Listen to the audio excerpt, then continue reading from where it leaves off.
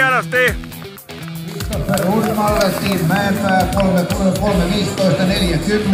Neljäs suomalainen. Hannes Mäenpää maaliin ajassaan 3.15.46 ja Leena Nurmi hienosti aikaan 3.50.47.